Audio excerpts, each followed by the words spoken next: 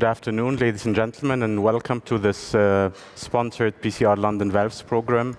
Um, this session is sponsored by Boston Scientific and is dealing with optimizing immediate and long-term outcomes after TAVI. My name is Mohamed Abdel Wahab from Germany. I'm joined here by Lars Sondergaard, my co-moderator from Denmark, and we have a lovely and very uh, experienced panel here. So as you can see here, the objectives of the session would be to understand the impact of permanent pacemaker rates and paravalvular leaks on outcomes after TAVI in the current um, era to appreciate the potential importance of neocommissural alignment and also to discuss the role of cerebral embolic protection during TAVI. So three different but important topics that impact both procedural and long-term outcomes after performing TAVI uh, in the current patient population we're treating. Lars? Yeah, and also, Mohammed, we want the session to be as interactive as possible. So please, if you have any questions, any comments, uh, go to the microphone or use the app to, to post questions to us, and we'll try to address it and include it in this discussion. Yes. Um, so we'll start with the first uh, presenter. Um, Dr. Uh, Rasha Al-Bawardi will be giving you an update on permanent pacing and paravalvular regurgitation after TAVI. Rasha, please. Thank you, Professor Abdul Wahab. Um, so it's my pleasure in the next five minutes to talk about paravalvular leak and um, pacemaker rates with Accurate Neo. Thank you. Um, so when we talk about lifetime management, we talk about post-procedural um, effects that could affect their lifetime, such as paravalvular leak and conduction disturbances requiring pacemaker. And we also talk about more longer-term um, effects, such as durability and the need for coronary access.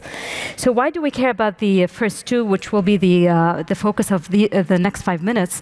What we know with paravalvular leak, there's definitely lots of data that shows moderate to severe PVL increases mortality. And there's also quite a bit of a concern uh, recently, even with mild paravalvular leak, that maybe it's not as benign as we think. Uh, when it comes to pacemaker um, uh, needs, we also know that there's a lot of data that shows one, it definitely impacts the LV function, it increases length of stay and cost of procedures, and as well as an increase in mortality in those patients in the DAVID trial that required more than 40% pacing.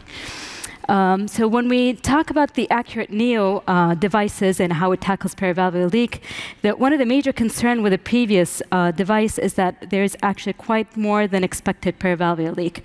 And to tackle this problem, what, we, uh, what uh, Boston Scientific did with the newer device, I don't know if you can see the the marker here, but what they did is that with the outer skirt, they extended it up so it's longer, but it also has the active seal, which you can see here on the pointer. So you can actually see that if you have significant calcium on the side, this will help seal it, and you have lower rates of paravalvular leak. Uh, so what's the data showing with the Accurate Neo 2? This is one of the first registries that, or first uh, group that looked at Accurate Neo 2 with 120 patients. And as you can see here, there are no severe paravalvular leak in the cohort at 30 days and one year. And the moderate to severe was only about 2.5 to 2.7%.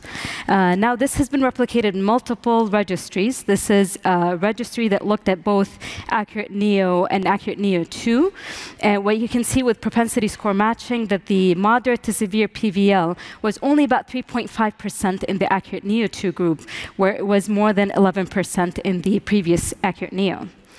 Uh, same data, data has been replicated in multiple other registries. Um, these are two main registries that looked at both uh, Accurate Neo and Accurate Neo 2. And as you can see, the moderate to severe PVL was down to 2% in the first group and also in the, um, the Italian registry as well. Uh, so what about Accurate Neo 2 compared to other valves? Um, these are two data from registries of both Sapien and Evolut Pro, which also so shows similar trend that the uh, no significant severe PVL in both groups, and the moderate is comparable to other valves.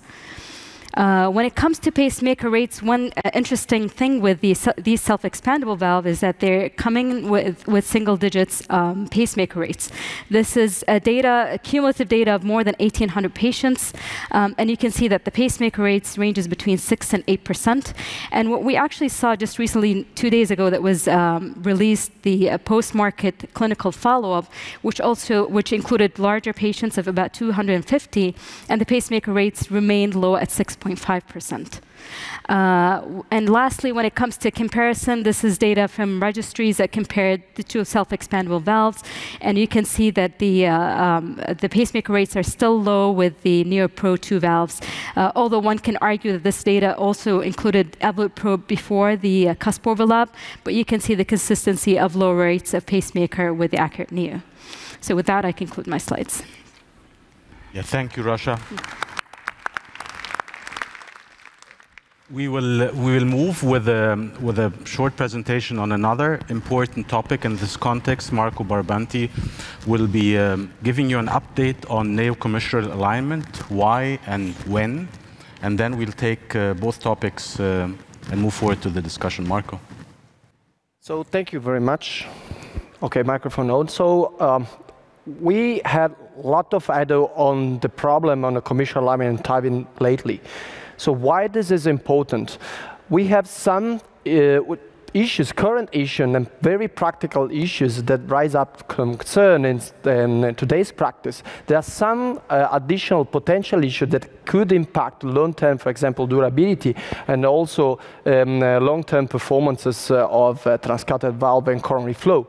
But the more practical and current problems for commissural alignment is, first of all, the coronary access to the coronaries. So coronary access uh, is an issue because we know that a lot of patients affected by severe aortic stenosis have some kind of coronary disease. Um, we know that um, PCI and coronary angiogram should, could be performed in those patients. We know that coronary disease can evolve in these patients, particularly younger patients. And we know that um, particularly in patients who had already a coronary disease before TAVI, those patients have a much more uh, chance to undergo unplanned PCI after transcatheter valve implantation. And we know that um, putting a valve in is, not, is, a, is a big deal, and it's a big deal for coronaries. But we show that is not just what type of valve we're implanting, but also how we implant and how we size these valves. And the reaccess to study showed that actually we can do something to prevent the risk of uh, obtaining any problems to the access to the coronaries. Um, for example, in this study, we showed that the presence of Evolut was associated with increased risk of uh, um, coronary impairment and coronary access after TAVI, as well as uh, a very high implantation depth we can do something and we can do commissural alignment. This is another study more recent and which show very briefly that when we are able to obtain a good commissural alignment, we are able to increase remarkably the chance of having an effective um, um, coronary cannulation after transcatheter valve implantation. But very briefly, what are the main characteristics that TAVI must have for obtaining a good commissural alignment. I think the first one is to have a clear and visible fluoroscopy markers before THV implantation. The second one is to have a highly flexible delivery system, and ideally is to have a delivery system which have a one-to-one -one torquing capability, which allow us to provide a much more predictable commissural alignment. We know that all transcatheter valves, that are most frequent used supraannular self-expanding valves have some markers. Some of them are very visible, some of them are less visible, but what is important, I said, that these markers are visible when the valve is crimped. So we can do commissural alignment in a quite nice way. And the last group showed very nicely that commissural alignment with the current devices, that once again, I remind you that they were not designed to obtain commissural alignment to adjust the orientation of the cusp, but actually this is feasible. And there are some valves in which this kind of technique, so commissural alignment, is much more um, predictable and much more uh, effective, such as in uh, uh, with the Evolut and Accurate Neo, particularly with Accurate Neo. And we can see here that uh, um, according to the two most common self-expanding device, supraannular device, we have some kind of difference. On the left-hand side of the screen, you see the incidence of uh, severe commissural misalignment with Evolut when you put the flash port at 3 o'clock, which still is quite high, 20%. Of course, probably this is going to be improved, but the current device, this is what we saw. But with the Accurate Neo device, with a new technique by implanting the safety pin, the, the delivery system safety pin at 6 o'clock, by doing some additional maneuver we'll see, the uh, incidence of uh, um, moderate severe misalignment, commissural misalignment is very low. And once again, just to wrap up, with the accurate, it's quite simple to do commissural alignment. First step by putting this, the safety pin at 6 o'clock, and then assess orientation using three cusp view. And you can see here according to the presence of the post, we can go deeper on this, on the, the, technique, and then obtain a commissural alignment and then implant the valve in a quite safe way. Thank you very much. Yeah, thank you, Marco. So, so let's open up the discussion. Lars, are there burning questions from the participants? Um, no, there's no question for the right now, so let's see we can so let, let me first um, go back to, to Rasha's um, part about AR and pacemakers. So Rasha, we all know for a long period of time now that moderate or more AR is bad and is prognostically relevant. And thankfully, with the majority of devices, we currently have extremely low rates. But we still have mild paravalvular leaks, even now with the modern devices, somewhere between 20 and even 35 percent. Um, does this matter as well for patients along their lifetime management journey? What's, what's your thought about that? Yeah, very excellent question. Is that we sort of ignored mild paravalvular leak, as you said, but there's definitely emerging data that it's actually more concerning than we think. Uh, there's a meta-analysis published by Pompeu in uh, Structural Heart just this year, and what they did is that they it's actually looked at more than 25,000 patients, and they found that yes, moderate to severe increases uh, the risk of mortality compared to mild and none, but they also looked at mild versus none or trace, and they found also a signal for higher mortality with a hazard ratio of 1.35. So definitely it's not as benign. There's another data also, it's a registry data that shows also with mild paravalvular there's an increase. We don't know if it's an association, it hints about something else um, with that patient, but I think it's something we look at. What we know is with the post-market um, trial is that uh, the, the mild paravalvular leak is actually lower than what we saw, so it's 18.9%. So we're doing better at least with this device in the future, but we definitely need to pay attention to mild as well. Yeah.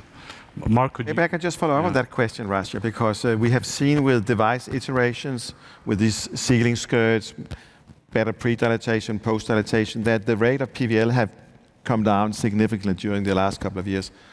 Who are the patients who are still at risk for PVL after a type of procedure?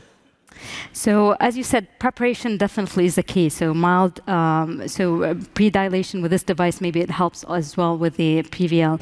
Uh, there is a risk that with calcified, definitely calcified valves, that you, you get that mild paravalvular leak. What we saw with the newer device is that they actually, uh, the, the decrease in PVL was more with the calcified vessels than not, the calcified leaflets than not. Um, so we still look at the calcium as one of the predictors with, with the PVL, but we, there's a lot that we don't don't know yet about these patients in the future as well. Marco, do you think we will uh, reach like surgical-like results with extreme, like with single-digit mild PVR, PVL rates anytime in the future? Do we need to have this as a goal, as a therapeutic target? Well, probably it's unpopular. Probably we won't reach in terms of leak the results of uh, the surgeon. I wonder if, uh, you know, there's some suggesting data that probably mild leak might have an impact. We have to the, it depends what patient. We have patient in which this mild leak might not have an impact there might be patients in which leak might have an impact. So it depends uh, um, on this. I think we won't never get the surgical because still it's completely different. Um, I think, um, to be honest, that leak in the vast majority of patients, it won't be a big deal. Um, but this is just my personal feeling. But for sure, we have to definitely look for the reduction as low as we can, the incidence of leak, that's for can, sure. Can I just follow up on that uh, answer, if it's okay, Mohammed? Yeah, so, so you, you just showed uh, the benefit of having commissural alignment of these valves, we're doing to have better coronary access, but you also mentioned that paravalvular leak may potentially be less because the way this active sealing skirt is located. Do, do you think that will be a way forward to get even lower yeah, to have commissural alignment? I, I think commissural alignment might play a role in long-term durability. Um, we don't know, actually. But also often the PVL and also for PVL. We have very preliminary data that we, with by obtaining good commissural alignment, we have a reduction in terms of intra prosthetic leak. Um, I, I, think they might play a role also in the hydrodynamic into the aortic root to have a good commissural alignment. We might have uh, an important impact also in PVL. And I think this um, is probably one of the factors in which all the, the very recent observations uh, with different valves, we, we've seen really the, the degree of uh, PVL coming, of also mild, coming down also with self-expanding devices. Uh, Phil, I mean, in the past we used to understand that PVL and pacemakers are actually, if you want to uh, uh, improve PVL, you have to increase pacemakers and vice versa. It doesn't appear to be like that with the Accurate platform. Any, any personal opinion about, about this particular point of no, I think it's a question of tailoring the valve to the individual anatomy now. We're all very good at reconstructing valves on the CT with, with extremely good 3D imaging. And I think you have to tailor not only the valve type, but also the valve size. We're getting better at sizing these valves. Um, but, you know, any degree of PVL is, is unacceptable. I think we should all agree that it, we've got to eradicate this. And, and I think the pacing issue uh, is is also that how the valve is deployed as well as as well as what type of valve and the size of the valve. It's you know there's interesting data about uh, high valve deployments and new techniques of deploying valves which will reduce pacing rate. But again, you know we're coming down into intermediate and low risk patients, and a, and a pacemaker is not a good outcome for those patients.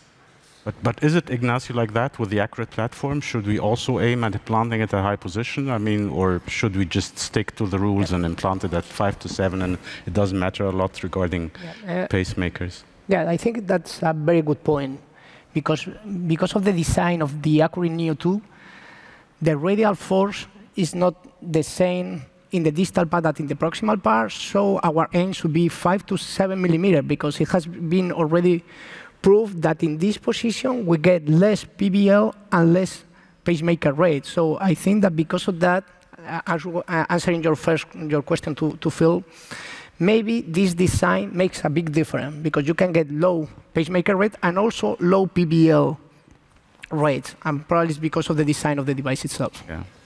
Marco, getting back to the commissural alignment um, uh, topic, uh, What's your appreciation? I mean, we, it's more or less standardized now in the last two years, particularly with this device. We know how to do it. What's your feeling on how the community is adapting this in everyday clinical practice? Are the majority doing this? And, and for those who are not doing this, what are the limitations? Well, I think we have to, we have to be uh, clear that we have, at the moment, two diff different types of operators. We have uh, very uh, key opinion leaders, very operators in very large centers in which I think this kind of technique is widely adopted, is now standard. On the other hand, we have uh, small volume operators which still um, have the first aim in putting a valve in a good position to obtain uh, very low rates of PVL to obtain a safe procedure. So probably we want to be focused on the effectiveness of the acute heart cancer procedure. So I think this is up to us, try to um, communicate how this is uh, feasible and also is not um, very, um, uh, it doesn't require a lot high level of uh, expertise and uh, it can be done. But of course, um, uh, I think it's important to underline, to give the message, pass the message. The first thing is to put the valve in right position and do the best thing. So if you are not confident in obtaining perfect commissural alignment, you are starting it, uh, I think it's better to focus, particularly you have very bad tortuous anatomy, sometimes may be difficult to obtain commissural yeah, alignment. Focus on the results of the, of the yeah. There's a few questions here, maybe one first one for you, uh, Marco. If you do a valve and valve procedure, you have a failed surgical bioprosthetic aortic valve, should you also aim for commissural alignment with your TAVI valve? Uh, I think it's uh, absolutely, we, we should. Yeah.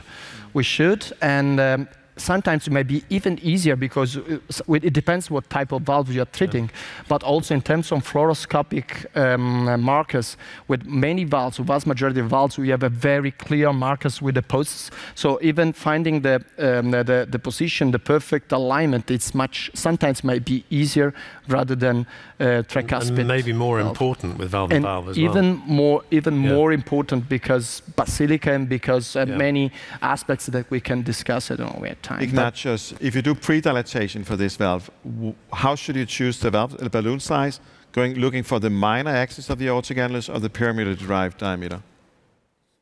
Uh, I think that we should pick using the minimum diameter, that or one minus that. So uh, I agree that we need to have a good pre-dilatation. This is a one-shot implant, so I really feel that we need to prepare the valve to get the best result that we can.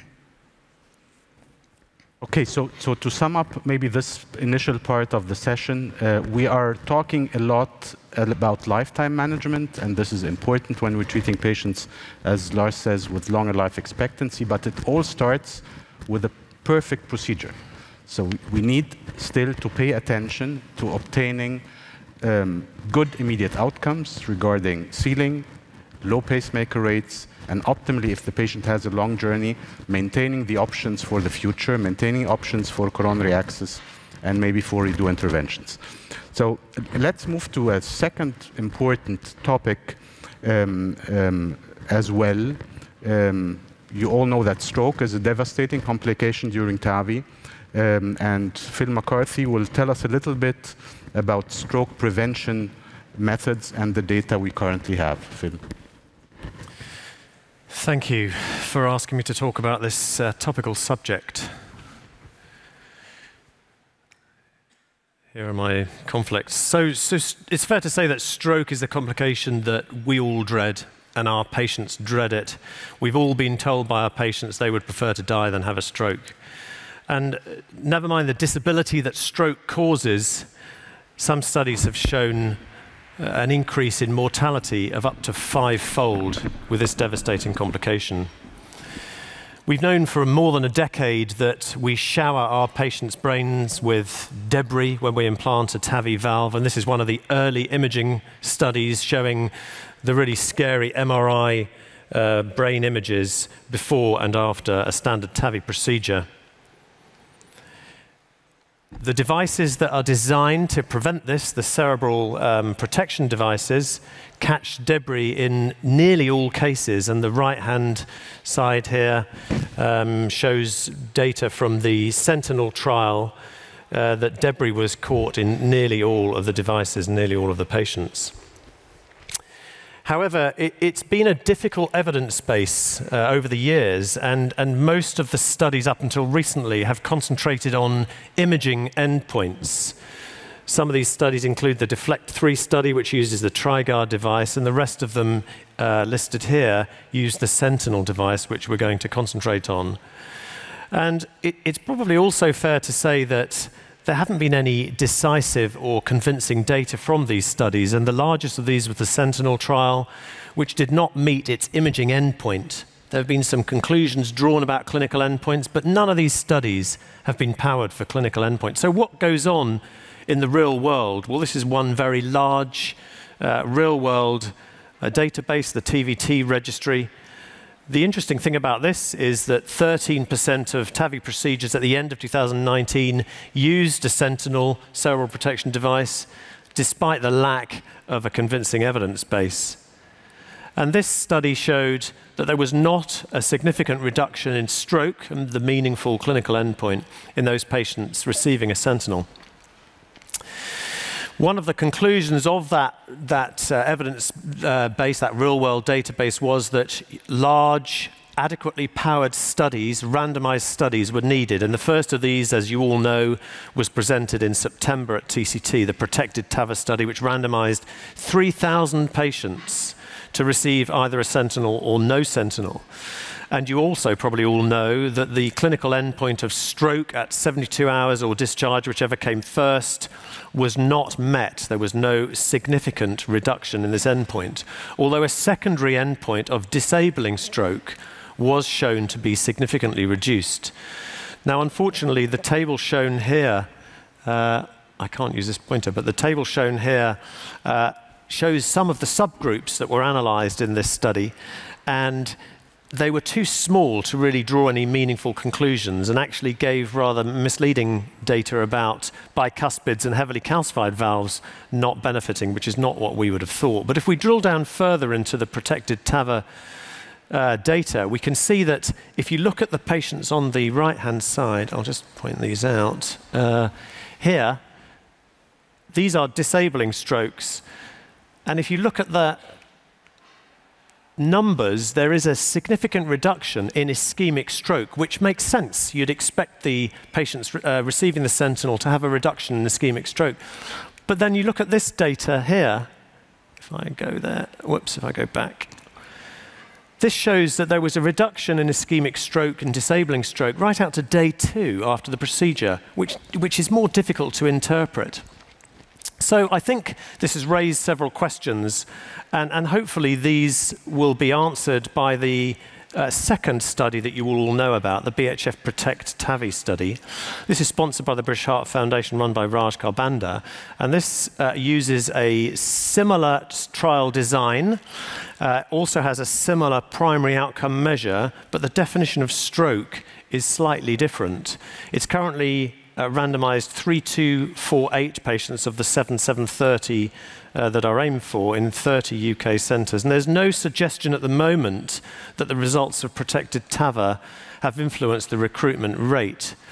Uh, and there is already a patient level um, prospective meta-analysis plan to combine the data so we'll have more than 10,000 patients to try and answer this important question. So my own perspectives are that the data certainly seems to show not only in the imaging studies but in, in protected TAVR a trend to protection but it's important to emphasize there is no significant clinical endpoint that has been demonstrated convincingly. It's also worth realizing that the device is very easy to use. The Sentinel is successful in 95% of patients in protected TAVR with a low complication rate. For my personal practice, I will continue to randomize to protect TAVI, and I very much uh, await the, out, uh, the outcome of that study and the combined analysis with interest. And I look forward to discussing this now. Thank you. Thank you very much. So, thank you, Phil. A great overview very important topic, very hot topic. I'm sure there is some interaction uh, from the participants. Yeah, there's a question here. Um, this is about HALT, or what we call subclinical leaflet thrombosis. Do we have any data on uh, from from the Accurate platform about this? I maybe rephrase this question a little bit. Do we believe this imaging finding of subclinical leaflet thrombosis or HALT have any clinical impact for the patient? So, I mean, I, I, it would be strange that it didn't have a clinical impact. I mean, there has been data in recent years that have shown an increased stroke risk in patients with, with HALT and leaflet thrombosis. Um, I don't think we know for sure, Lars. I mean, it's something that we don't want to, to see, never mind the stroke risk, but also the early degeneration of the valve as well. Um, but uh, I, I, think that the precise clinical impact of, of this leaflet thrombosis is, is yeah. uh, unclear at the moment. And I also think what, what, what, as I see it, it's, it's a very difficult thing to talk about because it's a snapshot. If you study the same patient a few months later, it's going to disappear by itself or yeah. will, will develop in other patients. So yeah, and I, I, think we've probably always had it. I think we just didn't see CT scan patients with surgical bioprostheses. I think if 15, 20 years ago we had done that, we would have seen it on surgical bioprostheses as well. I don't think it's unique to, to the TAVI population. Yep. Yeah, getting back to the stroke dilemma. Um, I mean, you mentioned there are some differences between um, Protected TAVR and BHF Protect yeah. TAVI in, in the study design. Could you just maybe highlight the most important differences? Think, yeah, so the most, I think the most important is the definition of stroke, and, I, and my interpretation of that late stroke might be that strokes aren't recognized, and there's an initial insult at the time of the TAVI, and perhaps the patient's a little bit confused, a little bit, uh, um, little bit drowsy in the day one post as a stroke on day two, and that's why you're still getting this, this discrepancy. It's the recognition and definition of stroke. Um, in protected TAVR, I think I'm right in saying that the stroke was evaluated by a, a, a neurological professional, which included neurologists, um, neurological nurses, and neurological fellows in Protect TAVI, it's a questionnaire which is asked by the research nurses on every day. Uh, and so there just may be subtle differences in the detection of a stroke clinically. This is not, they're not imaging studies. These patients aren't getting a routine brain MRI scan. So, so they're just maybe, and you know, there have been studies showing that if you look really hard for cognitive impairment and subtle neurological signs, you find more of them. The, the stroke rate is higher the harder you look. Yeah. So there just may may, I think we're just going to have to interpret that with caution when we, when we get the Protect TAVI data. Yeah. Uh, I mean, you, you have, when we were taking part in Protected TAVR, it was clinically for us an, an easy decision-making process. We didn't have to choose which patient to, to, get embolic protection, but we were randomizing. Now you have the same advantage in the United Kingdom, but uh, for the others, how did you, for example, how do you digest these um, results, Rasha, until we have the outcomes of the larger trial? What do you do for your patients? You can't randomize. Yeah, um, so I, I, don't think we have a clear answer as definitely doesn't work because I think it still works in a certain population. What we know from the data is actually the stroke rates are a lot lower than we think. So that's yeah. actually, in one way, it's good, but um, it doesn't mean that you can protect everyone just by saying it's low. Um, what we don't know yet about the subgroups, we still do it for bicuspid. We still do it for very heavily calcified valve and valve. So uh, we need more data just because we subgroup analysis, we cannot draw a conclusion based on the protected TAVI. Um, so we, hopefully with the British one, we would have more data. The other, I think my concern is also the, the, the roll-in was a bit different or the patient selection. So uh, in the UK, they're probably going to enroll everyone. So uh, in the US, there's probably a question whether it's commercially available for some patients and not being um, enrolled to, in the beginning of the trial. Yeah, do, do you have information how, how many patients were actually enrolled in the enrolling centers in the United States? So did they just cherry pick patients or not? Uh, I actually don't know that data, but you know, um, assuming that it's commercially available, there's going to be some inherent bias. So uh, I don't think you'll get to the bottom of the answer. I, I think that's the real concern: is that if you see a patient that has huge mobile masses on your on the valve, or there's some massive concern clinically, operators might think, "I'm just going to use a cerebral protection this patient uh, and not randomize." Or you know, there may be a lower um, incidence of valve in valve, for example, because operators assume there's a higher stroke risk. So that's the real concern is that the high risk patients will be gently filtered out of these, of these uh, studies. Yeah, yeah. Uh, Marco, there are some people interpreting the data in a, in a, in a different way. You, you, see a reduction in disabling strokes. On the other hand, you see maybe a little bit numerically higher rates of um, non-disabling strokes. So people sometimes interpret this that we're not abolishing stroke, but we're decreasing the severity of stroke. Would you go with this interpretation?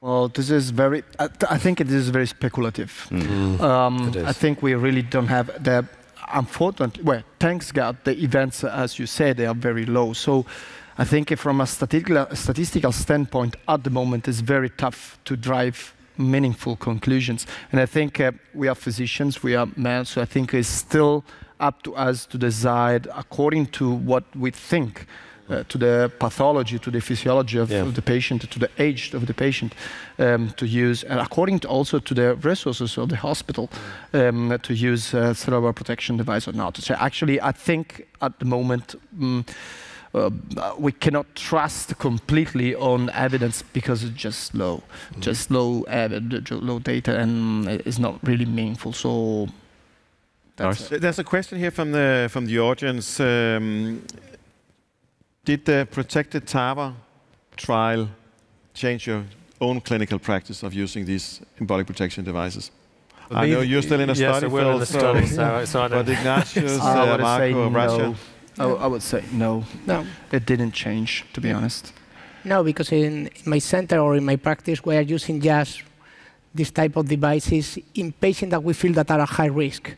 So uh, we can try to discuss what is high risk, but as Rasha said, probably bicuspid, valve in valve, patients that you feel that are high risk. So for me, it didn't change my practice. Well, which is actually frustrating because a lot of right. effort uh, has been made in such a trial, but sometimes we have to admit that with such very complex issues such as stroke, where the, the, the events are low, it's probably tough to get evidences, and I think we should uh, congratulate who's trying to get um, evidence and trying to shed more light on this important and, and, and hopefully the large database of 10,000 patients will identify, yeah. help us identify those patient subgroups that, that uh, need, yeah. need, need yeah. the device. I, I, think probably the, the, the single message is this device, this technique should not be used In in all patients. Yeah, yeah, Probably the only message we can get is this. And there'll Probably, be some score system Yes. to, to help you. Yeah. Yeah, yeah. If, if I should just say one final comment, this is my personal opinion. I think this, both the protected TAVR and the protect TAVI in the UK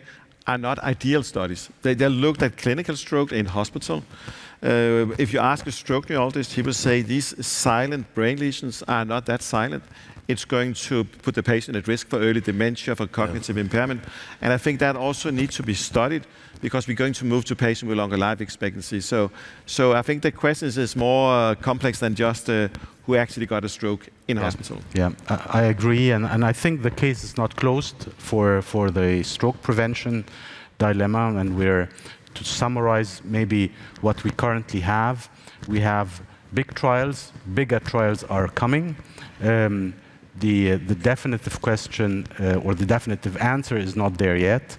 Um, and I think we as a community, we still believe that we should be doing something to prevent not only stroke, but cerebral embolization in general, because I think this is something that um, we currently don't have real control upon, uh, and, and this is annoying. So, uh, so to, to, to summarize these aspects, we have a case beautifully done by Ignacio, um, focusing on these aspects that, we have discussed, how to optimize management of a patient that has um, a longer life expectancy. Ignacio. Uh, Thank you. Uh, Good morning. In the next few minutes, I'm going to present a case we recorded at the University Hospital of Salamanca. These are my disclosure.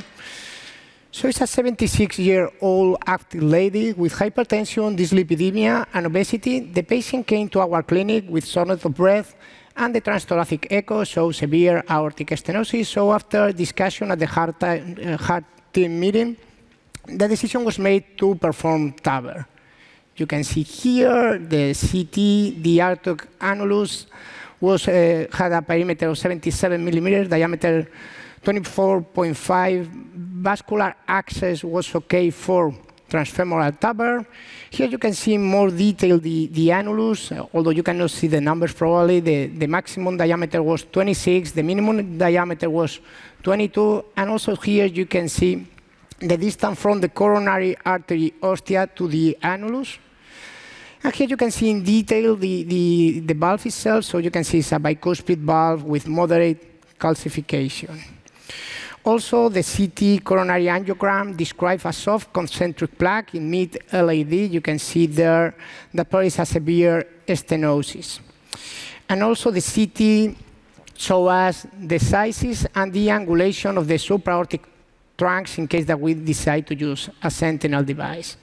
This is the EKG, so the patient was in sinus rhythm. It has a LVB conduction abnormality. Uh, the QRS was 119. So the key points of the case is quite easy. Is a young patient, at least in Spain, 76 for TAVR is a young patient. We have conduction abnormalities. We have coronary disease and is bicuspid. So at that point, we need to decide which TAVR we were planning to use, and we decide to use Acurate Neo 2. Why? For all these reasons. One is because in young patients, I prefer supraannular valve because the hemodynamics are going to be better, and probably this is going to translate into longer durability. Also, in young patients, I care about pacemaker. So this type of valve, the Acurate Neo 2, has low conduction injury. Also, you have low patient prosthesis mismatch.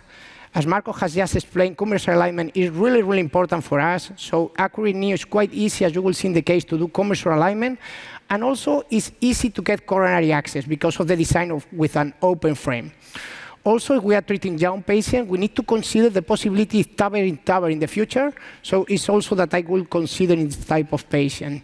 Finally, we want to have less PVL as possible. So Acurate Neo, as Rasha has just presented, has very low rate of Uh, PVL.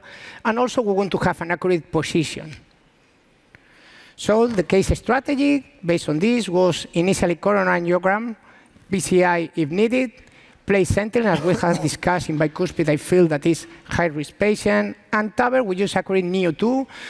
You should know that for bicuspid is an off-label indication, but I feel that the result is, is okay in this type of patient. We use Safari 2, direct pacing over the LV guide wire. The dead target we have discussed also. Our target is what the company recommends, so 5 to 7 millimeter because of the distribution of the radial force, and try to get commissural alignment.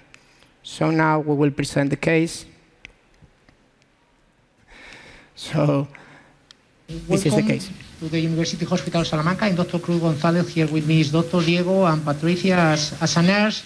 Here you can see that there's a tight lesion in the mid LAD, so we are planning to do right now uh, a PCI to mid LAD.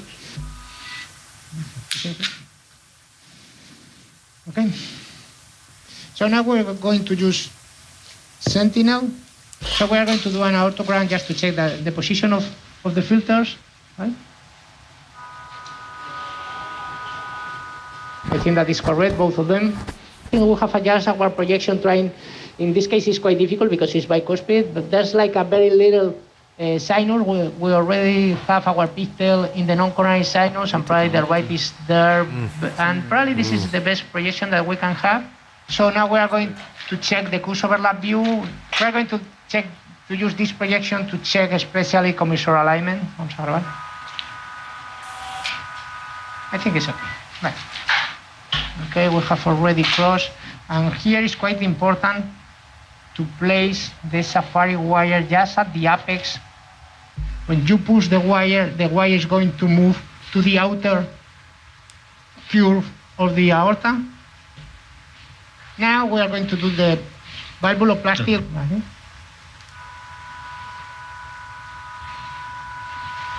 Dale, dale, dale, dale, dale. So, Fuera marcapasos. Okay, so we can review now, but I think we have a very good redilatation. You can see uh, the calcium, but I think that it should be enough for the implantation of, of the valve.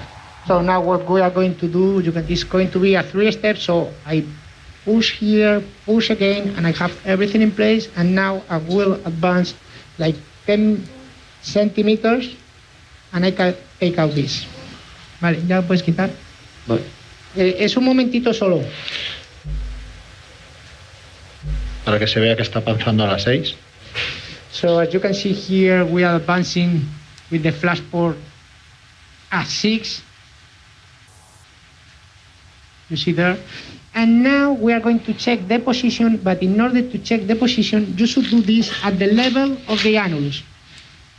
It makes no sense to make the alignment just here in the ascending aorta. We need to do it just here at the level of the annulus, something like that. I think that we can see the three posts. Okay? Sí, bueno. Sí, sí, sí. So I'm just advancing a little bit more. I have the pigtail in position. I'm going to advance just a little bit more. So idea is to see the marker just at the level of the pigtail. And I think that we can see the three markers there, right? So I, I see the three posts. So sometimes you can see the configuration 2 1, 1 2, or the three posts. I think that here we are almost in the three post view, and we will check here in the cusp overlap that the pin, you can see here the pin is on the right, so we are exactly as we want to see. So here you can see two, two posts in the same plane and another one in the other plane with the pin pointing to the right. So I think we are okay to go. I think that the wire is at the apex. You can see there, yeah, it's at the apex. So when I push, everything is in the outer part of the curve. In un test, when it's quite important to check that the that the pigtail, vamos a grabar, is all the way down. So you can see that it's not all the way down, it's just like one or two millimeter above that. And the idea with this valve is to advance and to have the marker just at the level of the distal part of the pigtail. A little bit more because here, as you have just seen, the pigtail was not all the way down. Vamos a grabar aquí. What do you think there? It.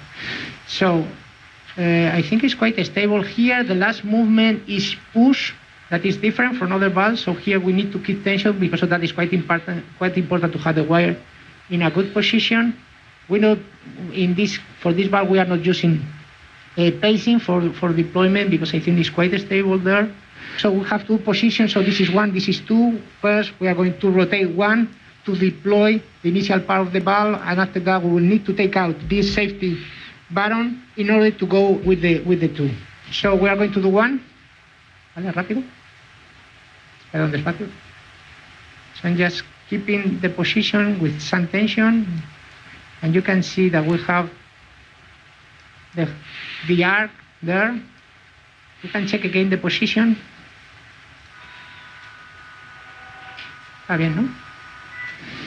So, so what is important here to see is that we have just the, the distal marker at the level of the pigtail, and the upper crown is just trapping the leaflets. You can see there. So I think we are in a good position. It's quite important here just to keep the, the tension. And also here, we can discuss later, the idea is just to place the valve like that. Not like in other valves that we want to implant as high as possible. Here it should be at that position with 5, 7 millimeter. We are going to be perfect there. So I'm just keeping some tension and we will take out the safety button. Tienes que. And now we will go with two. Rápido. Let's go with two. Okay, so I think we have a good expansion. And I think that we have a, a very good position. Yeah. I'm just adjusting. Espera, espera. So in order to take out the bulb, we need to push, pull the wire just to center the bulb just at the middle, just at the middle of the um, of the bulb because we don't want to trap the delivery system into the distal frame. So now Alejandro is pulling, no, empuja, vete empujando guía, vale. And we are taking out. Vale, ahí, vale. Good, vale.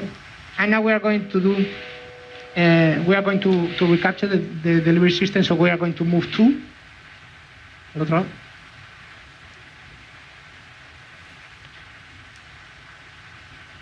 Vale, and now one. Más abajo. Vale, ahí está. So we are going to take everything out. We will keep the wire in place. Just in case we need to do post dilatation, also we have decided to, to leave the pigtail in that position just as a marker. But we will do now another injection, but we are going to pull the pigtail using a wire just to prevent the trapping of the, déjame una guía, the trapping of the pigtail with the arcs of the valve. I think that the position is really good. Also, the patient is totally stable. So I'm just advancing a wire and just pulling the pigtail. So we are going to do our first injection here, and after that, we will try to make an injection without the wire. You can see also that the QRS is still narrow and the hemodynamics are, are okay.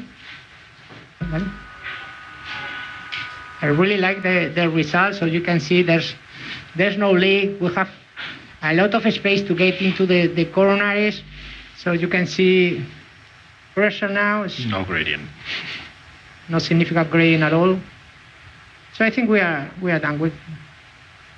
So we have no gradient, we have no leak. The QRS is still is still narrow, and we are going to try to get coronary access. And with this, we will finish the, the case. We are going to use the EBU catheter, the one that we used before. So it's six frames, 3.5. And here you have two possibilities. One is out, go out of the of the arc because we have enough space, or we can cross through here. In this case, you have no cells, so just see. Nice. It was just to show how easy it was to cross, and that's it. In patient like this, young patient, especially they, they have coronary disease, we need we need to make a good decision about which is the, the TAVR that we are going to use. I feel that Acurate is an ideal choice for this type of patient because you have a low pacemaker rate, you have low PVL and quite easy to get commissural alignment and coronary access. Also, in this type of young patient, I really feel that we need to focus on hemodynamics, so I will choose a supraannular valve. And finally, in case that this patient needs in the future a new valve, you can place an intraannular valve like the Edwards, and you will still have coronary access. Okay, great. So, so uh, Ignacio, there's just one question here from the audience regarding the procedure. Do you need to rapid pace during valve deployment? So in, in most of the cases, I'm not doing rapid pacing. It really depends if the, if the valve is stable. As you can see here, there was no movement. The wire was in a good position. I don't, I'm not doing rapid pacing. In case that I feel that the valve is not stable, is moving at all, I don't care to do rapid pacing, not really rapid, I mean around 130, 140, we can do that. But in this case, I, I felt that it was quite stable. So uh, impressive outcome actually in this actually very difficult uh, bicuspid anatomy. I'm sure I personally I don't have a big experience with the with the Acurate platform in bicuspids. I'm sure that a lot of participants would be interested on your insights. How many of these procedures did you perform, and are there certain selection criteria for this platform in bicuspid valves?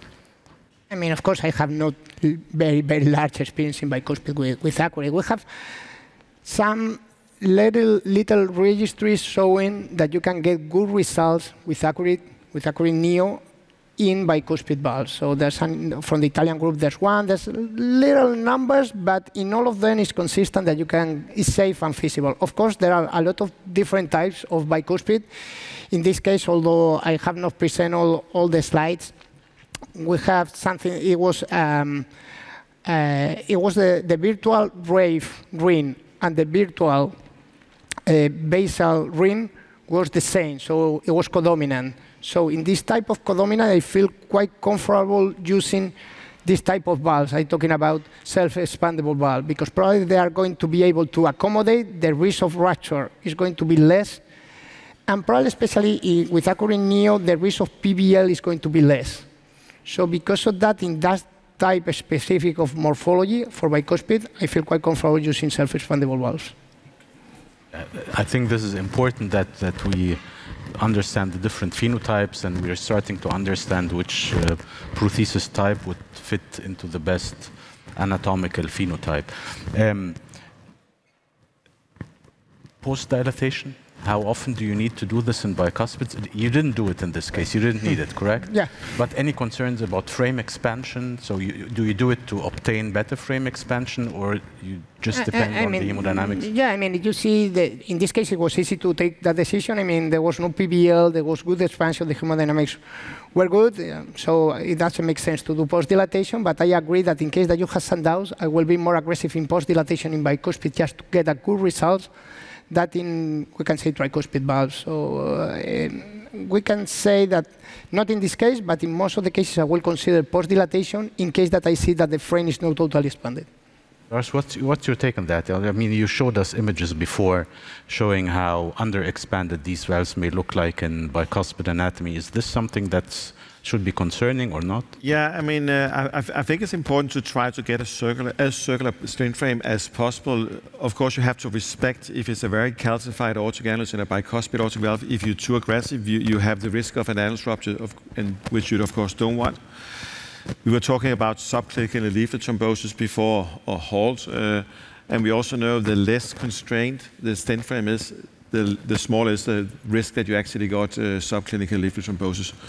Valves which have a super leaflet position, the stent frame seems to be more circular where the leaflet is actually mounted. So despite it's quite constrained or elliptical at the annulus level, it's often going to be circular where the leaflets are and, and thereby have a smaller risk of uh, subclinical leaflet thrombosis. You can say, what about durability and so on. So I think it's, uh, it's important to try to bring this uh, stent frame to a circular configuration where the leaflets are mounted, especially if you have an internal leaflet position. Yeah, I, I think this is important when we're trying to under, or we're going to understand the impact uh, on durability in the future as well.